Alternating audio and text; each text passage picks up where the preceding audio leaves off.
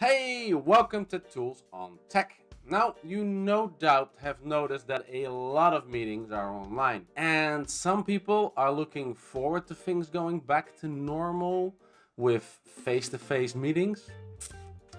Well, you know, I used to think being remote at a meeting was bad, but now I found out that the root cause isn't the remote person, it's the five people sitting in a room ignoring the conference call device.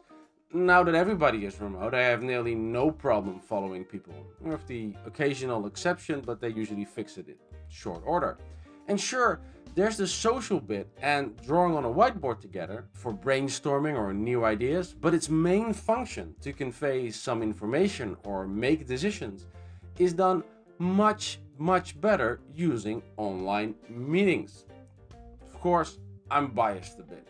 I have my own office and the coffee here is a lot better, but let's face it, if we all had to work from home all of the time, then everybody would invest in at least a proper chair and a dedicated work spot.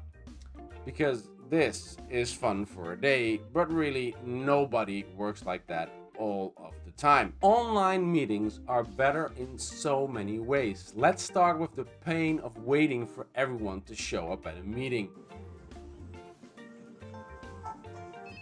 Oh, we'll chat. Hey, I'm still in time. I can't fix the late, obnoxious people, but at the very least, I can work until everyone is there.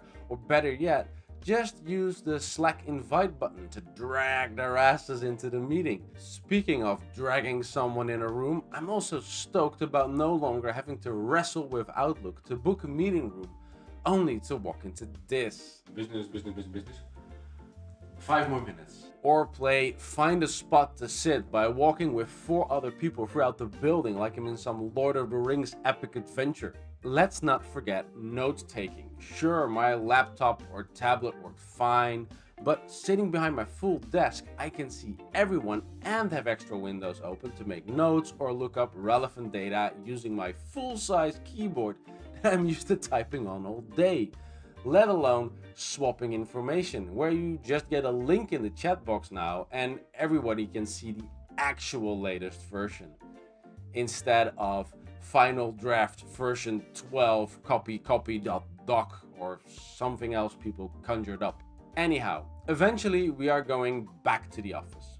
But I'm going to be a strong contender for doing meeting days from home instead of meeting rooms. Thanks for listening to my TED Talk. Remember, you're awesome and see you on the next one.